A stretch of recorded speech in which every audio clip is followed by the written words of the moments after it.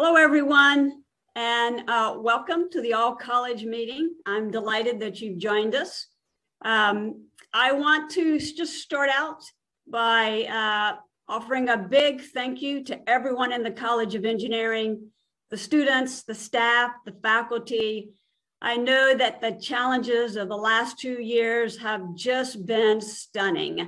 Um, and I can't express uh, all of my gratitude and just I'm just super proud of what everything's been doing, everyone's been doing in the last two years. The faculty pivoted on a dime.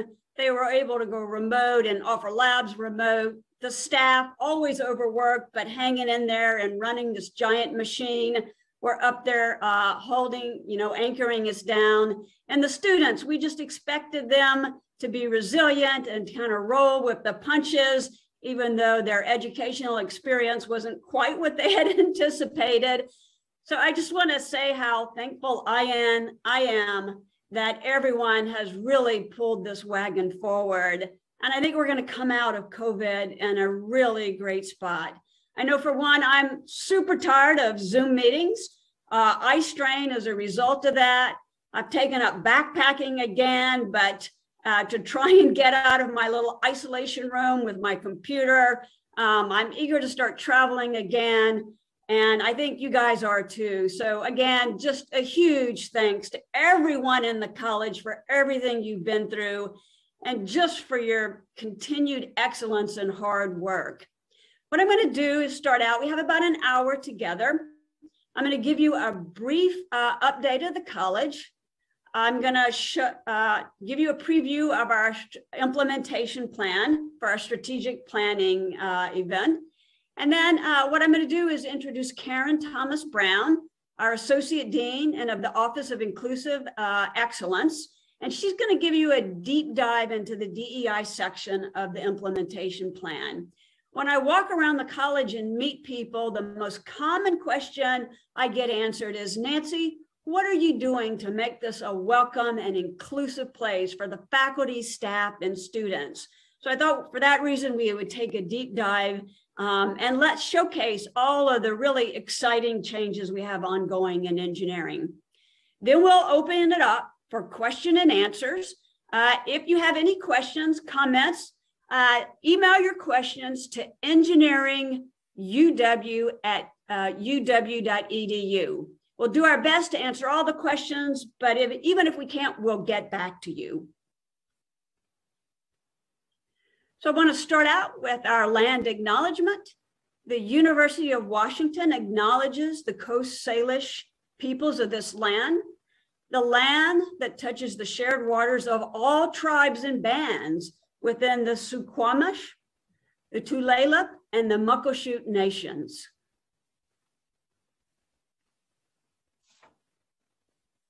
First, I thought out by, uh, I thought I'd start out by reviewing uh, the Dean's office leadership.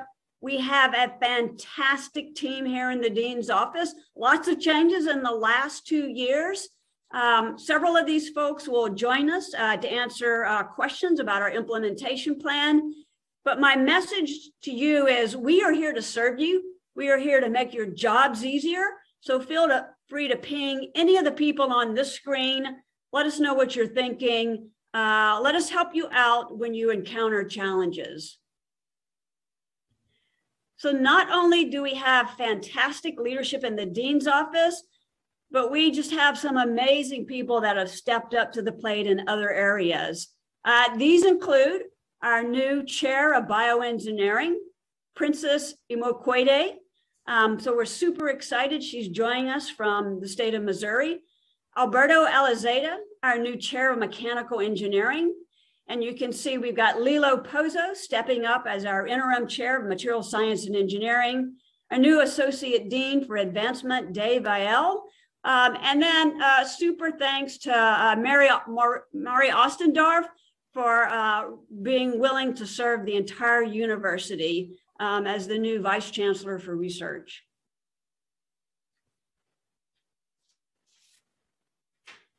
So again, things are ever changing on the COVID front. Uh, last week, we got some great news from the governor. Uh, the local health agencies have announced that our COVID cases are going down like a rock. Um, our hospitalization is going down also. So we're really uh, starting to see some changes in policies. Uh, we're going to see changes matched by UW. Again, this is great news. Some of the exciting news, I think, is if you're at an outdoor event, over 500 people, no mask anymore. Um, we are going to continue to do masking indoors at UW facilities um, through the end of the fall quarter but stay tuned for changes. I think things will be changing fast after that. We're really waiting on guidance from King County, the Department of Labor and Industries uh, to begin to move forward. But I think this is good. We're going to be in a time of change and it'll be good change instead of the opposite that we've been going through. Uh, starting March 1, vaccine verification will no longer be required at a lot of places like museums and theaters. Uh, so good news on that front also. And I have to say that UW has done super well uh, compared to other universities during COVID. We had this holistic approach to COVID prevention, um, and 97% of our students and faculty uh, were vaccinated. We had no on-campus tra transmission of these large uh, super spreader events. So that's, uh, we're particularly proud, but really it was the UW uh, student, staff, and faculty that stepped up to the plate to make this happen and keep our communities safe.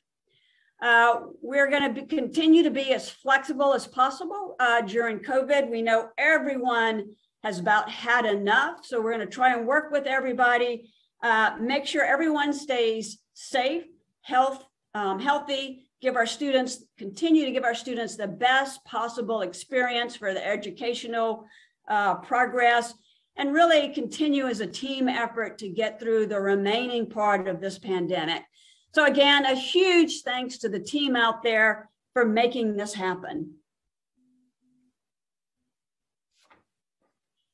What I wanted to do also is share some of the things ongoing with our students and how we're really working to support our students during their first years in the College of Engineering. You know, we've now had direct uh, to college uh, admissions in place. We take our students in in their first year, and we want to build programs to support these students and ensure that when we take them in, they graduate and get their degrees. So provide a holistic, supportive experience uh, before they're able to join their majors. So we have, yes, you know, our engineering undeclared majors uh, come in again to the engineering college. They now join first year interest groups, FIGs, kind of like the fruit on a tree. Um, but the goal is to help them build an academic community. So they have colleagues and collaborators they can work with. We also connect them to the engineering uh, peer educators these are current students that know the ropes, can offer guidance and help our new students out. And they're all connected into the engineering advising staff so that they're plugged into curriculum and activities, et cetera. And that way they really have a home away from home in engineering. There's one program, set of programs that I'm, uh, I think is gonna be spectacular for the college. That's our Pathways for Inclusive Excellence. And this is about supporting students that are traditionally underrepresented in the fields of engineering and computer science and making sure that they belong and they're able to succeed also. So the partnership includes the nine uh, engineering degree granting units, the Allen School, so computer science and computer engineering, and it draws together three critical uh, diversity programs really to provide wraparound support to all of our students, no matter what their needs are. So this includes the Dean Scholars Program and its equivalent in the Allen School, uh, the Startup Program, and of course, uh, our uh, Washington State Academic Redshirt Program, which everyone probably knows as STARS. Startup and the Dean Scholars, again, holistic programming, uh, help as the students come in uh, summer uh, transition programming, and then really holistic academic advising, really helping these students make this transition and have a, a real cohort experience as they come in. And our STARS program, just an amazing program with a huge impact, uh, supports our low income first gen students, students from underserved backgrounds with a really specialized curriculum focused on math and core science prerequisites. So again, a whole uh, span of support systems for our students. I think super exciting for the College of Engineering. Again, I, I just want to also say that the College of Engineering is doing quite well on all other fronts. We're 22nd in their US and News, uh, US News and World Report, so tied with Princeton. Uh, I think of Princeton as being a rock star in engineering, so we're in uh, good company. Um, we're also ranked higher than a lot of our peers now. UC Santa Barbara, UC Wisconsin, and we're steadily climbing the ladder. We're continuing to grow in our size. So we're about the size of UC San Diego and University of Colorado in Boulder. So we're getting up there. Our research expenditures, we're just knocking on the door of 200 million. So that's pretty exciting, I think. Um, if you look at our percentages of women and undergraduate, uh, uh, historically underrepresented individuals, we're beginning to climb in there, those areas. Also, uh, women uh, tenure, tenure track faculty are about a third of the college faculty now. So again, we and we continue to be number one in the source of all UW startups. So not only do we have awesome students who we're supporting, but we have just amazing faculty and the staff that are helping us all succeed. I love this slide. This slide tells you that we are great for the state. Uh, we're a great investment. Not only do we serve the students of the state, but we serve the people in the industry. We are almost a $600 million economic impact to the state. That is just amazing in my mind. And so you can see our other stats. We are really, I think, helping to the state and its economic recovery. And so that's exciting and it's win-win for everybody. I think another exciting thing is our new interdisciplinary engineering building. Um, as many of you know that over the past 10 years, uh, the College of Engineering has nearly doubled our degree output, yet our space has only grown about 18%. So we've got a big space gap or space deficit. And in particular, our space gap is in a space that's um, team-based education for students, collaborative learning, uh, hands-on learning space. You know, engineers need space to build and destroy stuff, uh, learn the failure points, and then do it all again. So the IEB is going to be this kind of space. Um, and I think it'll give all of our students not only support these formal interactions, but informal collaborations and teaming, club events, etc. Importantly, I think uh, it's going to be great for the Allen School and for our engineering departments because it should help to decompress some of their space when they're able to move some of their curriculum programming into the IEB. Hopefully, it's a win win for all of our 10 uh, academic units. And again, we'll have industry capstone space, uh, we'll have student advising. It'll house programming for our leadership, diversity, and access programs, classrooms. Again, um, I think I'm, you know, I'm almost ready to go back to school uh, just so I can take classes in the interdisciplinary engineering building. So look forward to that. People are asking when, when is this going to happen? Uh, and the answer is very, very soon. So you're going to see site preparation in the spring. Those old funky trailers are going to start to be dismantled. We'll get groundbreaking uh, towards the beginning of the fall uh, quarter, so September-ish. Uh, construction beginning at that similar time. And then we're looking forward to completion in 2024. So um, this is going to be really, I think, quite tremendous for the college and all of the faculty members and students in creating this real home away from home for all of our students so they can go back and get their services and have a place that they're really anchored to and they know they can always get help. And then I want to tell you a little bit about our strategic planning. Uh, when I came on as dean, one of my goals were the reason I took this job is because I want to take this college to the next level.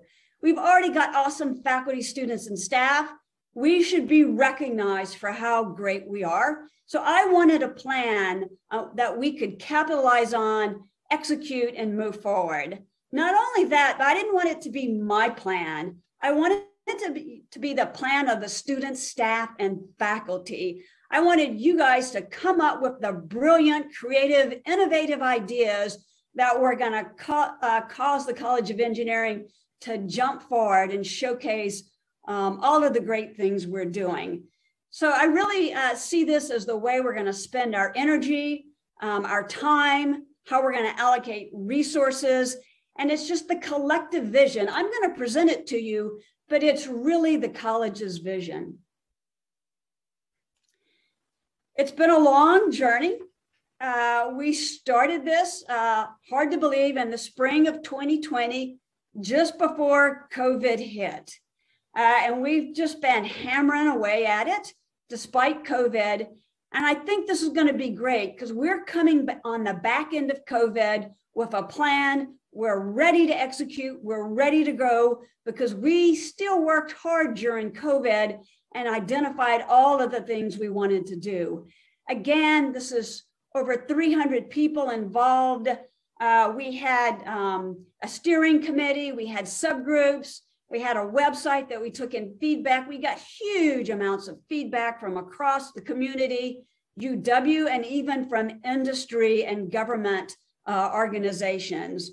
So this is, I think, really, it's more than just engineering. It's the plan, I think, for all of UW and the state also.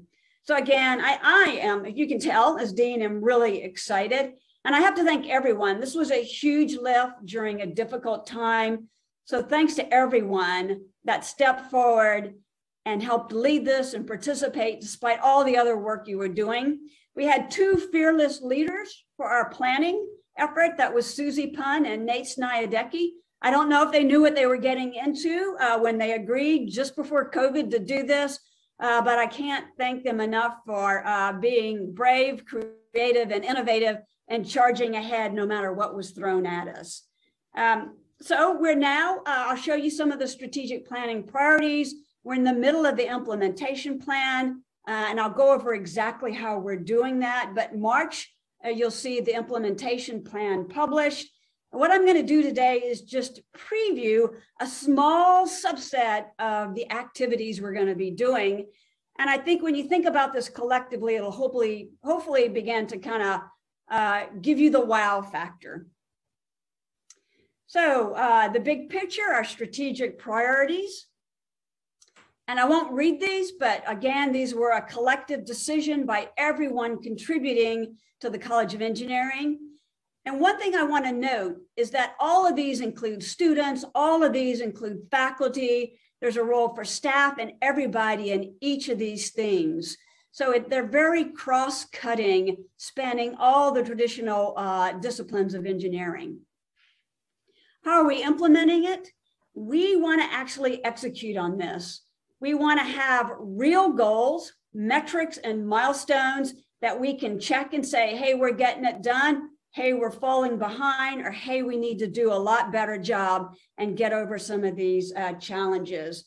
So look for that to come. We'll have a five year roadmap that will roll out again in March. Uh, but what I'm going to do is we'll, you get an annual report every year saying where we messed up, how are we're going to do better. I'm going to showcase a few of these now. So our first priority, again, um, creating a healthier and uh, more just world through our work. Our curriculum, we want it grounded in public good. We also want to be translating our discoveries into real world applications. We want our research to be focused on the public good and to be help people live better lives. Uh, we want to also think about how do we, again, making people live better lives, healthcare issues. I think COVID has shown precisely it takes engineering and medicine working together so that we can all live great lives. So let's give you some examples. So this is from our priority one. And again, the first part is to have an um, industry uh, curriculum advisory committee. We want to make sure we're meeting changing demographic and societal needs. We want to make sure our students are prepared to go into the workforce. They're meeting industry needs, for example. So we want to hear from our industry partners, for example, on AI and ML and other areas. We'd like to see more big center grants and institute uh, proposals from the college. So we're going to put in support structure uh, so that there's more, it's easier to do this and the barrier to put in uh, these big uh, uh, programs, that, uh, grants that require a lot of work, there's a lower barrier. We want more of our students engaged in healthcare related um, activities. Capstone is one example. We want to launch a public good uh, faculty fellows program. I would really love to see some of our faculties taking sabbaticals to work in governments, uh, non-governmental uh, uh organizations, community organizations, really um, entities that serve the public good. Um, and I think we can begin to play a much bigger role in addressing uh, systemic societal issues, um, and really uh, interacting and interfacing with government a lot better to tackle some of these big challenges, challenges of our day. So what I want to note is that I'm gonna, you'll see I've got priority three up here. Um, again, as a reminder, Karen Thomas Brown will do a deep dive into priority two. Uh, so I'll skip on to priority three. Again, we want to be a, a, a cross-departmental collaborative entity. That's how we're going to solve all the big problems. Uh, we would also like to make sure our students and postdocs have the same options that they can go out and change the world, either through social or commercial entre entrepreneurship. And again, we want to work with industry a lot better. What are some of our examples? So we're hoping to work with um, faculty, uh, the various um, review committees to revise our promotion and tenure guidelines and merit review to recognize entrepreneurship as a, a core thing that uh, engineering faculty do. So look forward to this. Uh, we'd like to again ensure that 50% of all of our engineering students have some experience uh, with commercialization and entrepreneurship. We want to work with the Foster School and CoMotion to make this happen.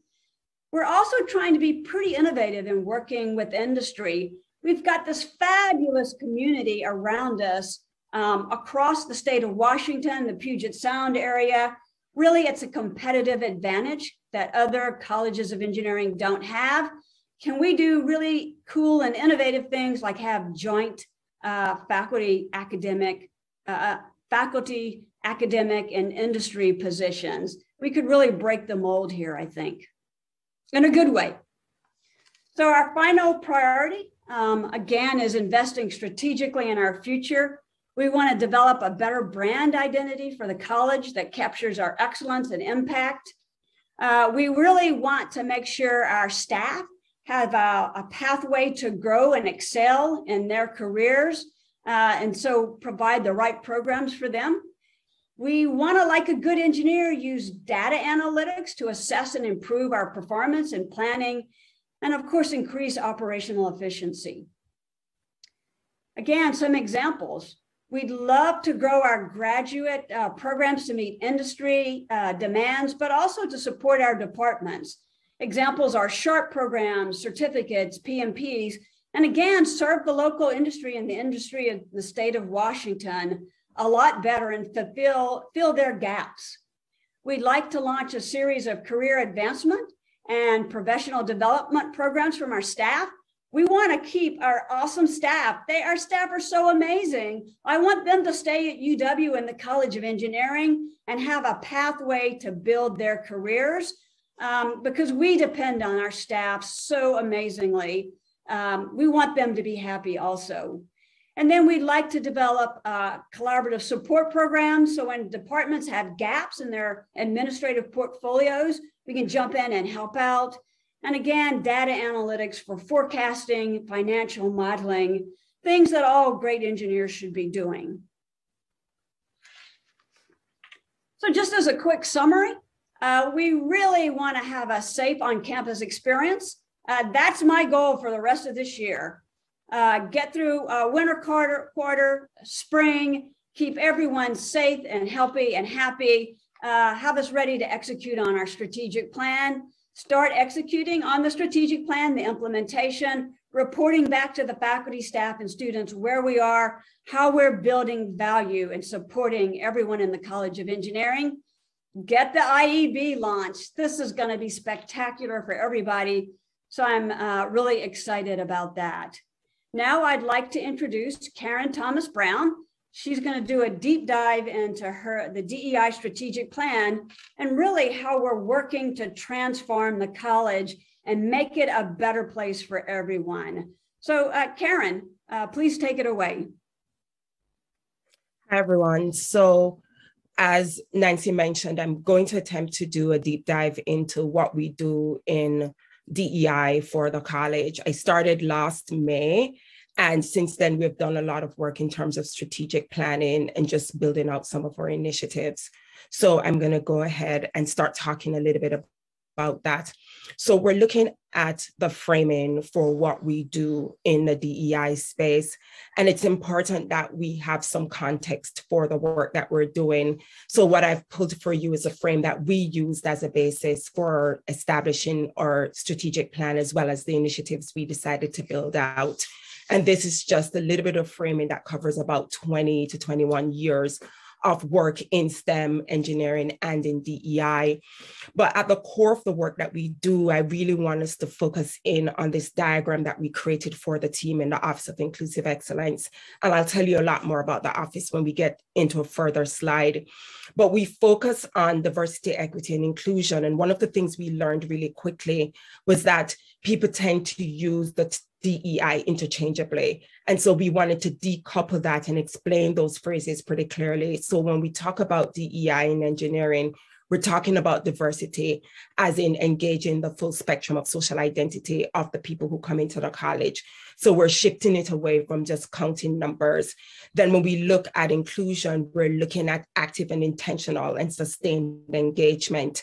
And then we go over to equity where we concentrate on mindsets and how we can foster learning within this space. But at the intersection of DEI's belonging, and so what you see at, at the core is how can we actively engage all the persons who come into the college? And so we use that as a basis. So starting foundationally, we began with the IDI. The IDI started before I took on the role of AD for DEI. And that started sometime early last year. And the IDI is our intercultural development inventory. And it uses the 7S analytical framework to sort of collect and analyze data and spit out results on how is the college, how is an organization functioning within the realm of diversity, equity, and inclusion. But it also is useful for giving the baseline data that we need for our planning, for our development, for organization around diversity, equity, and inclusion. And so in the college, what we started out with was this multiple data points, looking at where we could collect information. So we started by looking at a college's shared value, the commitment, reporting and challenges people experience, notions of fairness and equity and equality, individual experiences, as well as discussions around awareness. And so we use these various data points to sort of spit out some results of what it is and what our position is right now. And what we discovered very quickly is what you see on the screen. And I've sort of truncated all the diagrams to give you an overall view of where we are as a college. So you'll see that our perceived orientation is that for the most part, we believe that we're at somewhere near acceptance in terms of our perspectives and our views and our approaches to DEI. And what that means is that people assume that we not just know the problem, but we know how to strategize around it and solve it and take certain actions. But what we actually discovered were, was that we're more along the lines of minimization, which means therefore that we do know that a problem exists, but we do have a lot of challenges in terms of how do we solve problems and what steps do we take why is this important? Collecting this data from the full college then tells us how do we communicate with a group when almost 69%, which is what our results showed us, which is 69.5% of the college are actually at minimization.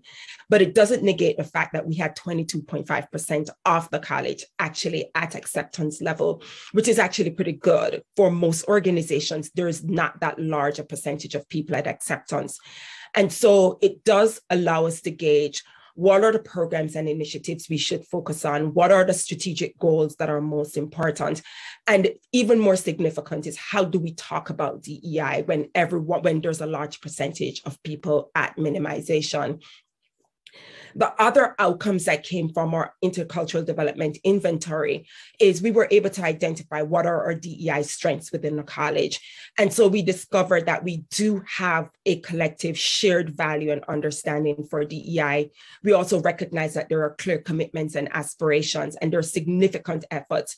And one of the things we discovered really quickly is that those efforts tended to be scattered around various departments. And so there was no coordinated effort that tied all the departmental efforts efforts together. There's a lot of optimism as well as people are aware of some ongoing events, but there are also opportunities. So there are many who wanted to know, so what can we do? What should be our next steps? And so we also looked at the data to pull out what are those positions for opportunities that we can pull from to build and grow our DEI agenda within the college. And so we knew very early that we needed a consistent and integrated strategy, one that was not just centered on one department or one group of people, but one that was coordinated across the college. We know that we needed to improve our communications infrastructure around diversity based issues. We also know that we need to provide consistent and coordinated approach to learning. So we weren't learning the same thing in multiple different ways and having varied understandings of how it applies to our particular groups.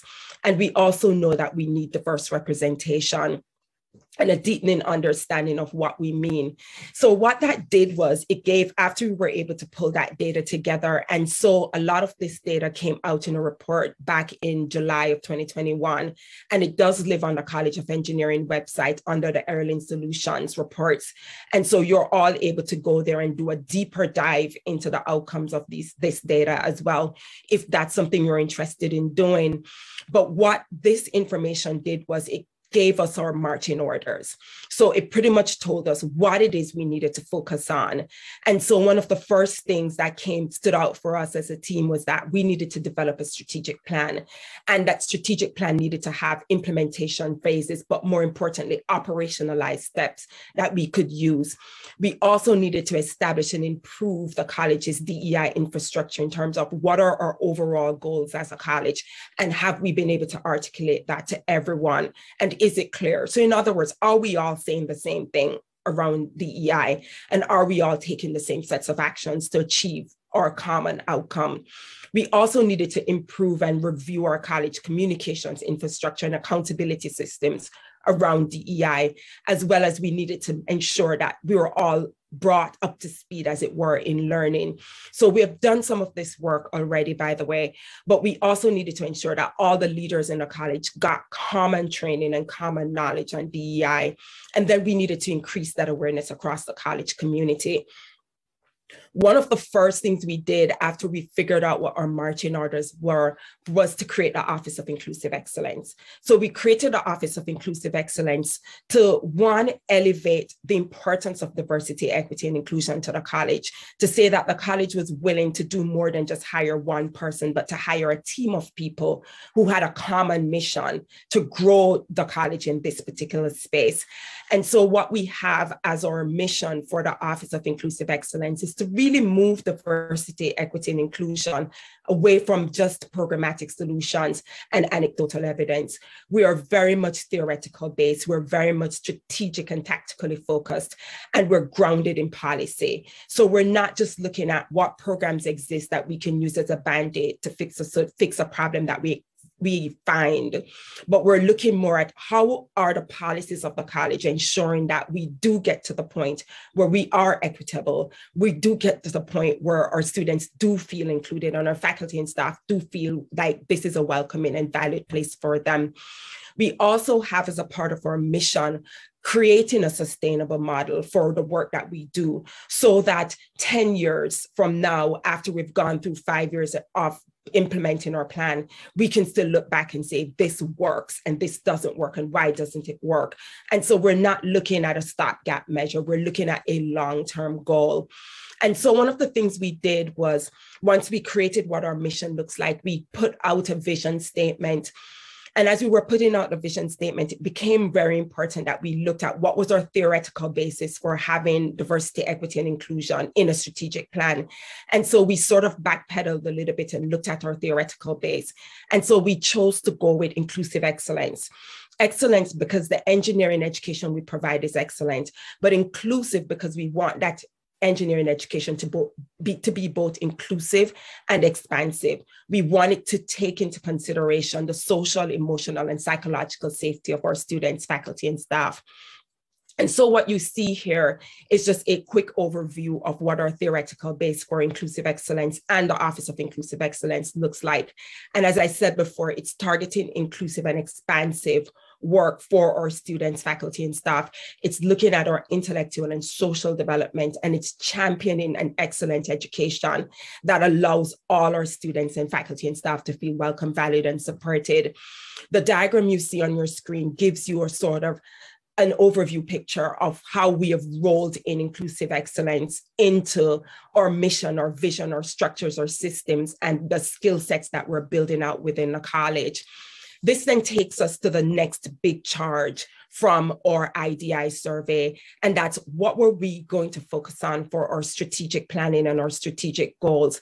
We chose four major pillars and four major themes that we thought were of critical importance.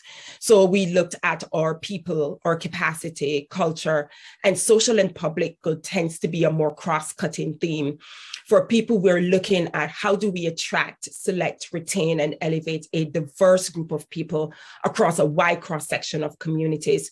We're also looking at capacity. And when we think about capacity, we're thinking about inclusion.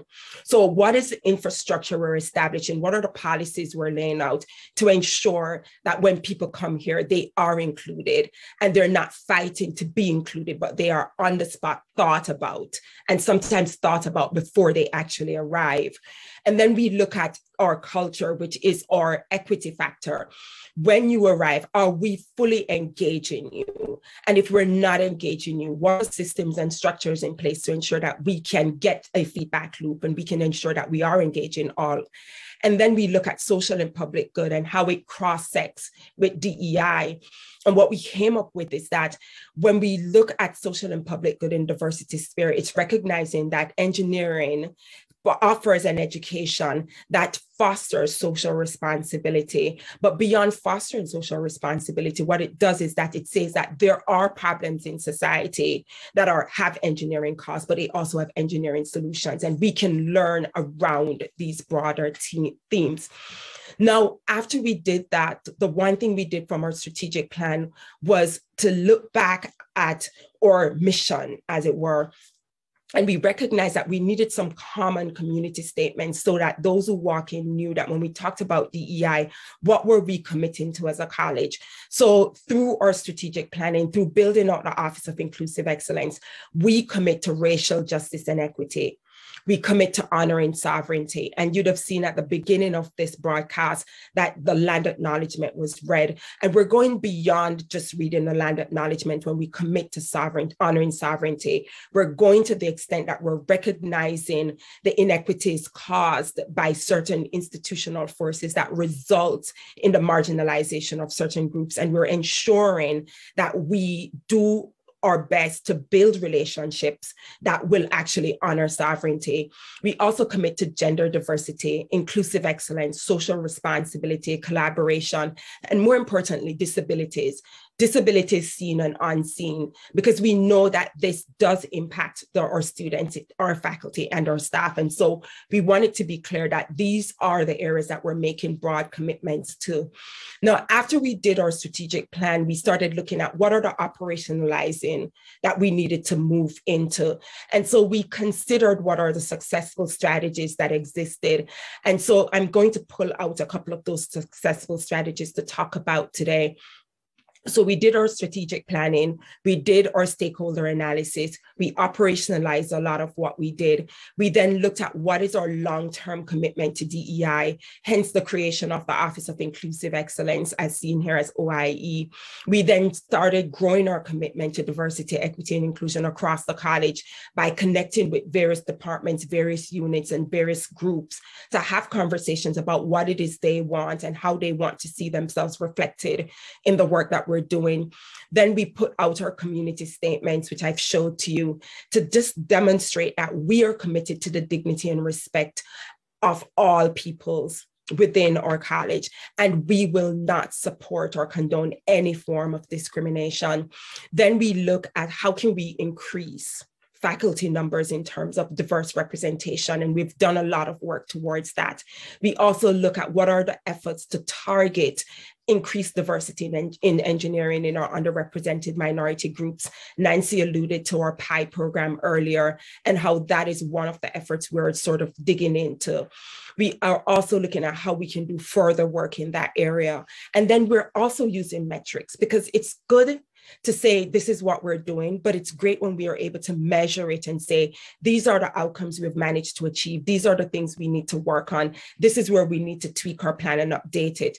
So, in other words, we're not being reactive to what's happening around us. We're being very strategic and tactical about how we approach DEI as a part of the Office of Inclusive Excellence, we really went in and looked at who are the various constituents within the college, what are the needs, and how can we build out an office that is multi-directional to support all those needs. And so what we see here is that we've we've staffed this office, by the way, about 80% so far. And so that has been really good for us in terms of the work that we've been able to do we have an associate director for engineering excellence, and that's Robin Clayton. And her job pretty much is to deploy a lot of our strategic engagement. She's also training focused. And that's a really good thing because what it means is that within the College of Engineering, in a few short months, we will be able to roll out our own training modules that target people within the college, but represents people within the college and represents the needs that we've been told are there for various training and various knowledge growth. We also have an assistant director in Scott Pinkham for academic affairs, and he works closely with how do we do outreach in the academic sphere to our underrepresented students and what are the services that they need that we're able to provide. We have an assistant director in Catherine Jordan who focuses on gender equity as well as our student groups. And we're expanding our notion of gender equity, and we're not just saying women in engineering, but we're also including other social identities, including our non-binary individuals who will want a home and a space here.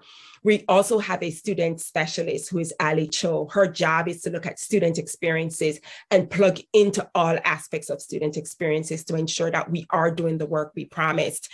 And then we have our communications. So we communications is important. The the best kept secret is not what we want. We want to be known for the work that we do.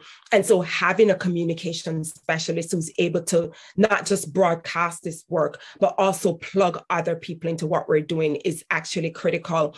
I think one of the small wins that we're really happy about is the DEIO roles. So a DEIO is a diversity, equity, and inclusion officer, and that's a departmental role. We have our first DEIO person in mechanical engineering he works for the department, but plugs into the Office of Inclusive Excellence. So we provide strategic direction, we provide resources and tactical planning, and that person is deployed to serve the department in their strategic planning, in their implementation, in their initiatives building, in their programs, and also in supporting faculty, staff, and students. And so we have several key initiatives because we know even though we do a lot of policy work, people still want to see what it looks like when it's actualized. And so what you see here are our nine core initiatives that we'll be launching. And we're now in the process, now that we're partially staffed, we're now in the process of building out these initiatives through multiple partnerships. So we have our Office of Inclusive Excellence. We will be rolling out an Inclusive Excellence Faculty Fellowship Program come fall of this year, and we're absolutely excited about that. We have our Elevate program, which will target minoritized graduate students in their psychological support and their social and emotional supports. We have our Let's Talk Diversity series that we're working on, and that we will definitely be rolling out shortly. We are working on it behind the scenes. We are growing our DEI knowledge, and that will be a part of the knowledge base, growing out our training modules. But we also bring in external partners who support us in this process. We have our Inclusive Excellence Student Internship that we will launch shortly. And another big win for us is our We Rise program that collects all our gender based diversity programs, put them in one umbrella program, and then break it out into different events. So the We Rise program will have five core components and four signature events that we will be presenting to everyone. We're also plugging into our student advisory groups. And as Nancy mentioned before, we're building out our PI program to ensure that we are providing wraparound services for our first generation Pell eligible um, students who are underrepresented within the sphere of engineering. Now, I just wanted to give you a quick view of what breaking out and building out one of our initiatives look like. So in just the general themes, we're building out our Inclusive Excellence Faculty Fellowship Program. We're looking at inviting one faculty member from each department, and they come in with an existing course that they teach.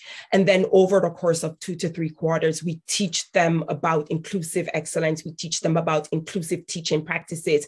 We get them up to speed in terms of their capacity and knowledge around DEI topics and issues within society. And then we support them to grow their course, keeping the structural and content integrity of their course, but growing their practice in this area to be more inclusive for their students. And so we're looking at collecting data to support each faculty member who come in. We're looking at committing ourselves to supporting their learning. So if we build capacity in faculty members and it trickles down to students, we're reaching a wider number of people. We're looking at how we can ensure that as we build out the Elevate program, it's sustained, not Elevate, sorry, or inclusive excellence program, it is sustained. So we hope to bring in a new cohort of faculty fellows each year. We're also looking at saving these courses when once the person has updated that course syllabi so that we can then use it to support them and support others later on. And that just gives you a quick idea. And finally, what you see on the screen is or broken out of our six signature initiatives and how we are going to be measuring success over a period of time.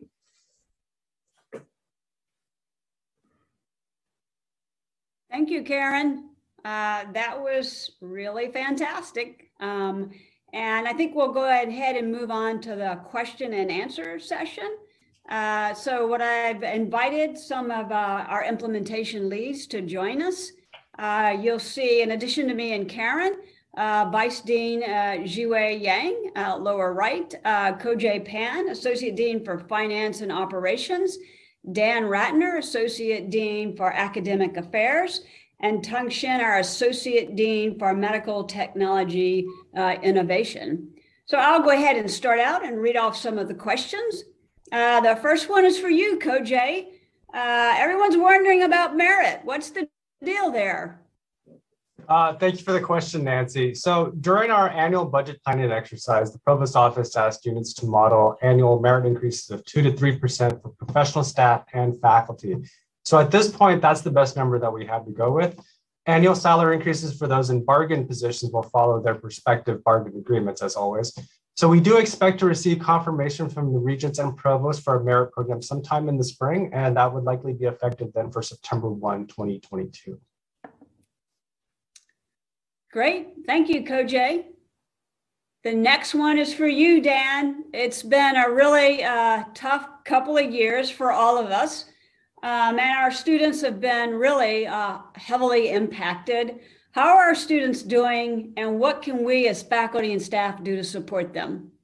Nancy, it's it is a great question, and and it goes without saying that we we've all been impacted, and our students, of course, have been impacted like like in, in ways that no one could have anticipated, especially with the fatigue and surprise of Omicron and this continued desire to see the university in our country uh, make this a more just and equitable society. So we we continue to struggle, and the students are are both excited but but anxious to return to normal. They really want to see this transition and they want to know when masks can go away and when they can start to engage more normally with each other and go for lunches and have events where pizza is being provided. uh, faculty want that want that too. Uh, you know, we're, we're all tired, but the students are here with purpose. They, they really are here for their education and they want to make the world a better place. And there's one thing that we can do that, that they have told us time and time again and it's communicate clearly. Students are asking that faculty communicate what your expectations are in the classroom. What happens if a student gets sick? How can they complete the learning objectives for your class if they do have to step out for a few days when they when they may be ill and away from the class? Uh, but also the students are asking about how are we looking at technology and changing the way we envision teaching in the future. I think we've all been surprised about how technology came to the rescue with the pandemic and allowed us to teach remotely.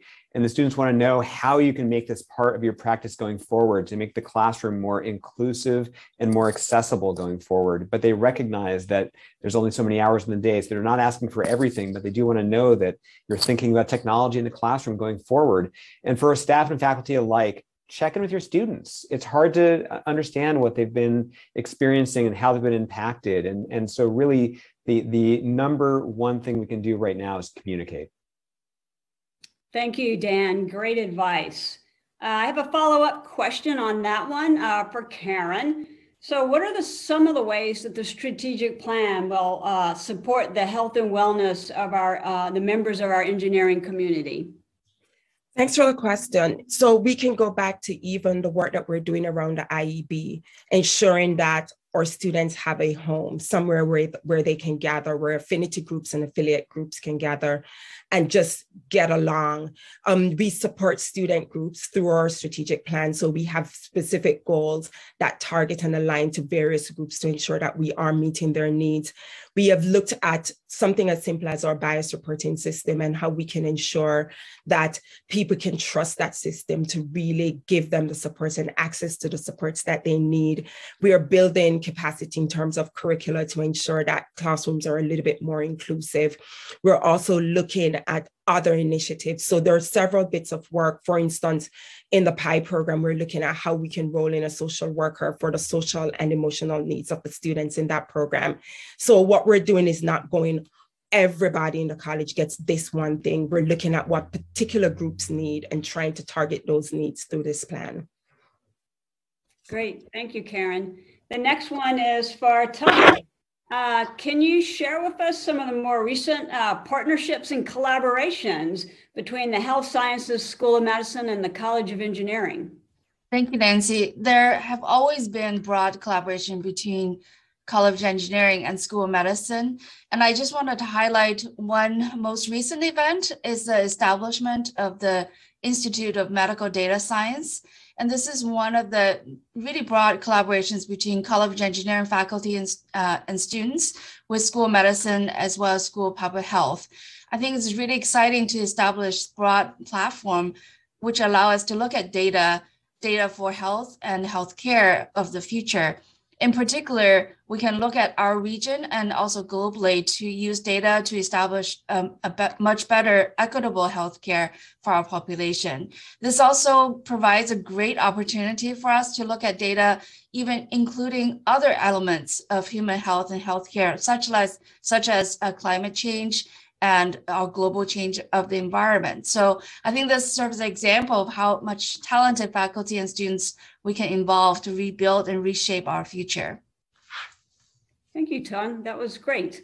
Um, Karen, a follow-up question for you. Um, you and your team are working super hard, uh, but what can staff and faculty do to help change the culture of the college so that DEI is the responsibility for all of us and not just a, a few members of the college? Great question. Thank you. So, one of the first things we have to realize is that the, the team is broken up thematically. So we've looked at various issues that exist and we've looked at the various groups. And so shortly you'll have opportunities to plug in. When we start building out our initiatives, one of the things that we've been doing is contacting various groups, asking people to plug in and give us their ideas to ensure that we're not telling you what the solution is, but we're co-creating various solutions.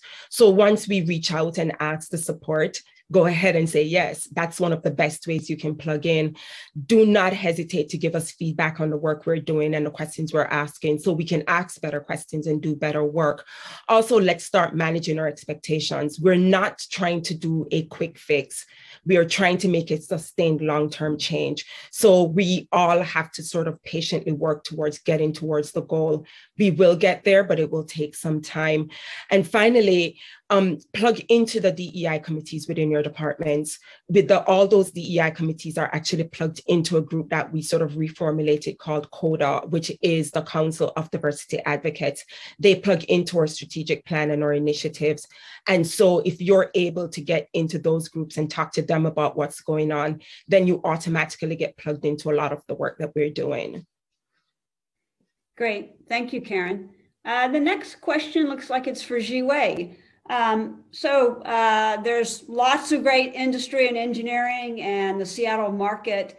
Um, is the college thinking about mechanisms for making faculty engagement in this work easier and more accessible? And sort of a follow up question What's a good way for current faculty who would like to become more involved um, and interactions with industry? And how do we balance our current workload as faculty? So, kind of a three part question, if you will, Jihui. Oh. You're muted, Jihui. Pardon me. Uh, thank you, uh, Nancy. That's a, a, great question. First of all, we're engaging with industry in all levels. Uh, we have lots of our work is uh, led by faculty through sponsored research, through personal or professional contact, and also we have a team in the uh, in the dean's office called Corporate and uh, Foundation Relations, led by Aaron Schwartz. that helps the college to coordinate and better prioritize our ongoing conversation with uh, corporate partners. And last but not least, we have a college visiting committee, uh, which helps us to build better partnerships with industry. A recent example I would cite uh, was uh, the establishment of uh, Amazon uh, Science Hub at the University of Washington.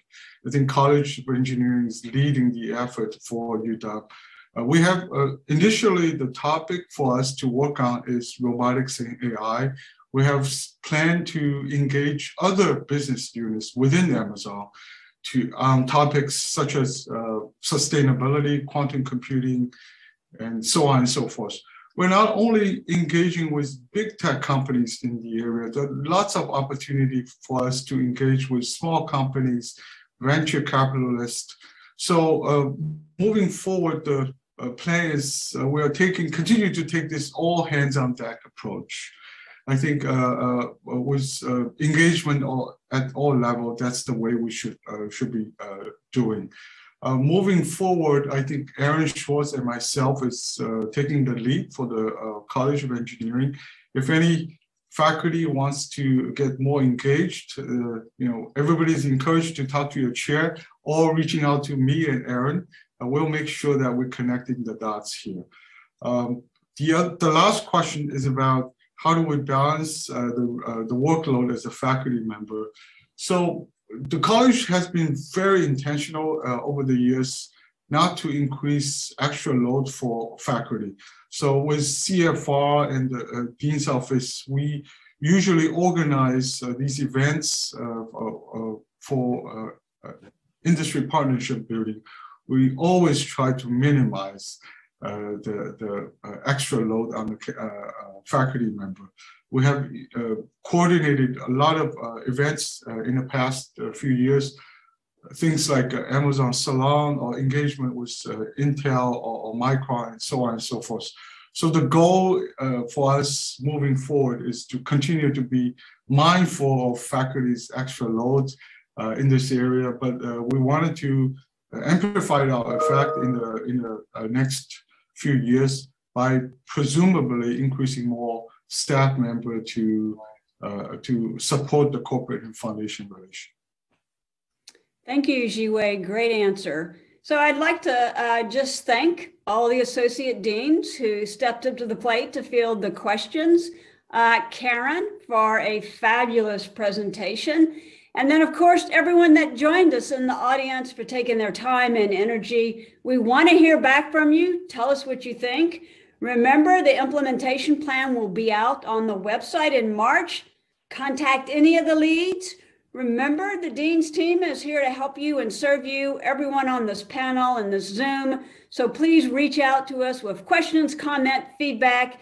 It's all good. And thank you again for uh, watching. And I'm just wishing you all the best for the remainder of the fall quarter. So go Huskies. Thank you.